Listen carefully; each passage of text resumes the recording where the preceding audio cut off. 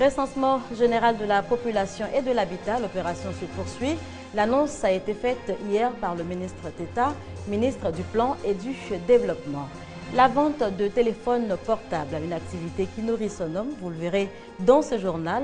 Et puis hors de chez nous, au Nigeria, une grande mobilisation autour des parents des 190 lycéennes enlevées.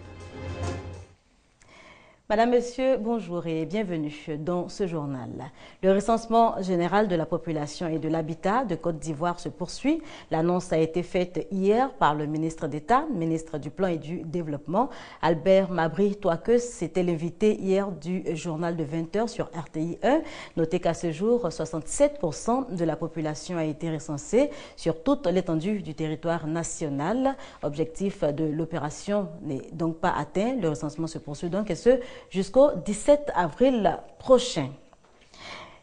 Et justement, pour euh, s'assurer de l'évolution de cette opération, le ministre d'État, ministre du Plan et du Développement, Albert Mabritoakus, multiplie les visites dans les ménages, l'étape de Lakota avec Mamadou Kwasi.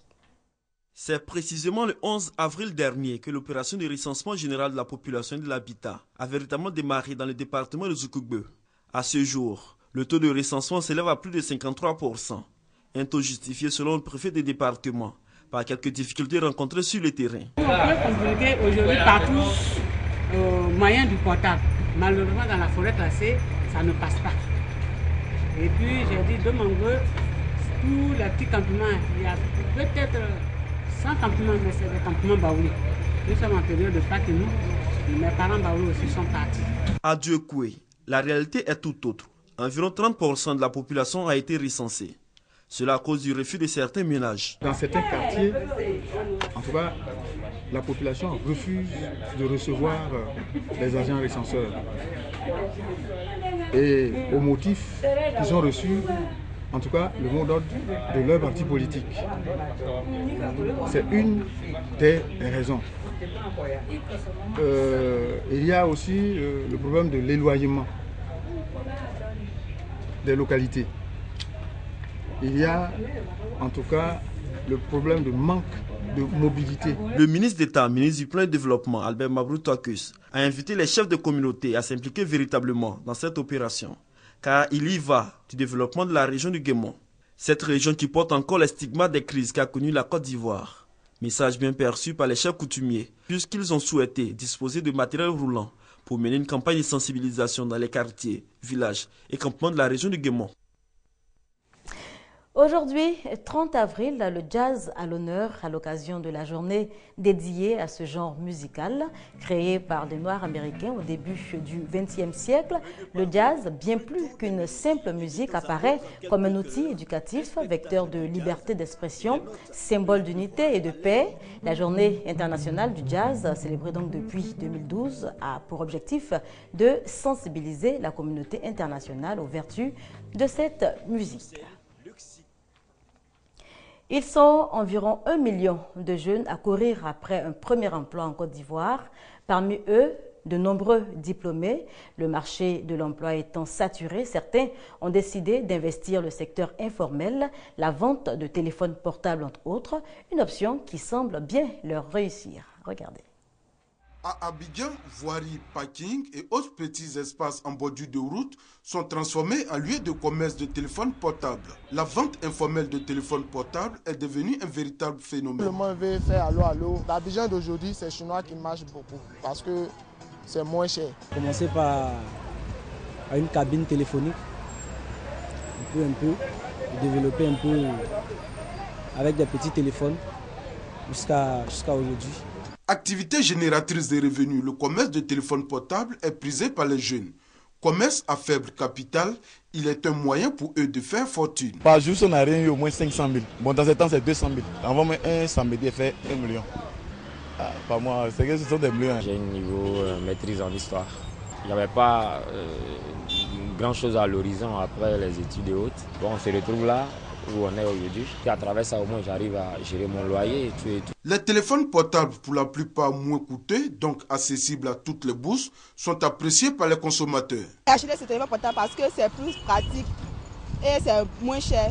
Il y a une semaine de garantie. Tu essaies le portable pendant une semaine. Si tu vois que ça ne va pas, tu dis et ils changent de portable. Dans une ville comme Abidjan, où les nouvelles technologies ont atteint leur apogée, les téléphones portables se vendent comme des petits pains, ce qui n'est pas fait pour déplaire aux jeunes opérateurs économiques. Cette information, avant de continuer, sachez que les efforts du gouvernement ivoirien ont porté l'embargo sur le diamant ivoirien et les armes a été levé. Le Conseil de sécurité des Nations Unies a rendu hier son verdict. Sensibilisation et formation aux droits et obligations des usagers de services de télécommunications éthiques. L'initiative est du ministère de tutelle à l'attention des associations de consommateurs. Konate Moussa, Grâce Kando.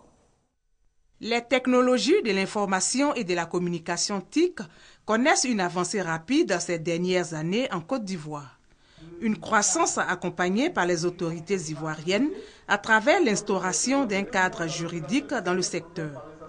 Mais les populations sont insuffisamment imprégnées de ces mesures législatives. En vue donc d'informer les acteurs et consommateurs de ces nouvelles lois, un atelier sur les droits et obligations des usagers d'éthique en Côte d'Ivoire est initié. Euh, le gouvernement a mis en place une abondante euh, législation et l'ensemble de ces législations est destiné non seulement à promouvoir le développement des TIC, mais à assurer dans les meilleures conditions qui soient le service aux consommateurs. Ces lois tiennent compte de la protection des consommateurs. Elles favorisent aussi la création de nouvelles structures d'encadrement. Nous constatons beaucoup de désagréments causés aux usagers tant au niveau de la téléphonie cellulaire que de l'utilisation des services Internet, sans que cela n'émeuve personne. Et pourtant, l'État de Côte d'Ivoire a aujourd'hui donné les pouvoirs aux autorités de régulation de veiller à une meilleure protection et à une bonne défense des droits du consommateur. Les autorités ivoiriennes sont engagées à assainir le milieu numérique qui souffre déjà de maux, notamment la cybercriminalité. Cet atelier permettra aussi aux populations d'être mieux outillées pour faire respecter leurs droits et accomplir leurs devoirs. Quel dialogue social pour une Côte d'Ivoire émergente en 2020 Question au cœur de la conférence panel initiée hier par l'UGTCI à la Bourse du Travail. À quelques heures de la fête du travail, l'UGTCI insiste sur la nécessité de dynamiser les cadres de concertation et de négociation. Ami Koulibaly. Chômage, bas salaire, autant de mots qui minent les différents secteurs d'activité en Côte d'Ivoire. Il est donc temps de booster la productivité des entreprises et assurer une stabilité sociale à travers des conditions de travail décentes. Cela ne peut se faire sans dialogue social entre gouvernement, employeurs et travailleurs, d'où un panel initié par l'UGTCI autour du thème Quel dialogue social pour une Côte d'Ivoire émergente en 2020 On définit le dialogue social comme étant tout type de négociation de concertation, de consultation, d'échange d'informations en vue d'aller à un accord. Employeurs et travailleurs n'ont pas toujours la même lecture de la situation économique. Je pense qu'on a la chance d'avoir une, entreprise qui, qui, est proactive, qui anticipe. Et c'est une très belle chose parce que ça permet au travail de se sentir concerné par les objectifs fixés par l'entreprise. Quelle est donc la position du gouvernement concernant le dialogue social? Est-il arbitre ou partie prenante? La position du gouvernement par rapport au dialogue social est, tellement clair que c'est pour lui un outil de bonne gouvernance? Il joue le double rôle, d'abord d'être l'instigateur des politiques économiques et sociales. Et il se trouve maintenant qu'il est employeur et donc il est concerné par cette, euh, cette approche. En outre, en ce qui concerne l'application du SMIG, certaines entreprises sont encore à la traîne toute chose que décrit le secrétaire général de l'UGTCI. Le SMIC, s'il est passé à 60, c'est une volonté des partenaires appuyée par le gouvernement. Donc le SMIC doit être à 60. Il est net d'impôts, donc il faut pouvoir payer. Le dialogue social favorise le développement d'un pays, mais le climat de paix en milieu de travail et l'assainissement de l'environnement général des affaires devraient aller de pair pour une Côte d'Ivoire émergente en 2020. Marie Kaloulou Djena, portée à la tête de l'interprofessionnel de la filière oignon de Côte d'Ivoire, à l'issue donc d'une assemblée générale constitutive. Élue, la nouvelle présidente a fait part de ses priorités à nos reporters Bertin Nguessan et Adama Kone. Seule candidate à l'élection du président de l'interprofession de la filière oignon, Marie Kaloulou Djena, a été portée à la tête de cette structure par acclamation. À présent, commence pour elle une série d'actions visant à assainir le secteur pour le bien-être des producteurs. Dans un premier temps, nous allons faire une activité de sensibilisation et de recensement de tous les acteurs et d'identification de tous les problèmes de tous les acteurs de la filière oignon pour chercher ensemble les solutions. La mise en place de cette interprofession s'est déroulée sous la supervision du ministère du Commerce, de l'Artisanat et de la promotion des PME le consensus qui a entouré l'élection de la première présidente de l'interprofession de la filière oignon donne une grande satisfaction au ministère du Commerce. Je puis vous dire que ce que j'ai vu m'a euh, satisfait. Les acteurs de la filière oignon ont mis en place une organisation pour parler d'une même voix et c'est ce que nous leur recommandons. Le Fonds interprofessionnel pour la recherche et le conseil agricole FIRCA et plusieurs partenaires au développement ont pris une part active dans la mise en place de la filière oignon. La Côte d'Ivoire produit 8000 tonnes d'oignons par an contre une consommation de 100 000 tonnes. À présent, des nouvelles de l'extérieur. D'abord, le Nigeria où a lieu en ce moment une grande manifestation de soutien aux proches des 190 lycéennes enlevées depuis plus de deux semaines. Kidnappées dans le nord du pays, ces jeunes filles auraient été conduites au Tchad et au Cameroun. La secte islamiste Boko Haram est pointe du doigt. Des dizaines de femmes marchent à Abuja pour donc exprimer leur colère.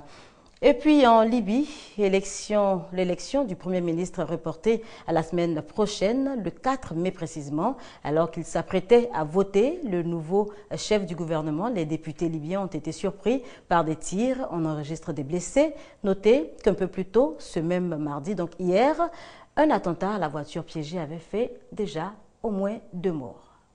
En Libye, une base de l'armée visée par un attentat suicide. La bombe a explosé à Benghazi, dans l'est du pays. Deux personnes sont mortes, deux autres ont été blessées. Les autorités imputent cet attentat aux extrémistes islamistes. Ces derniers ont revendiqué plusieurs attaques, dont celle-ci en septembre 2012. L'ambassade américaine de Benghazi avait été prise d'assaut. L'ambassadeur et trois autres Américains avaient été tués. Et puis législative sous fond de violence en Irak. Deux femmes et un policier ont déjà trouvé la mort ce matin au nord de Bagdad. Des violences qui, toutefois, n'effritent en rien l'engouement autour du scrutin. Et c'est ici qu'on s'arrête pour cette édition. Merci de nous avoir suivis.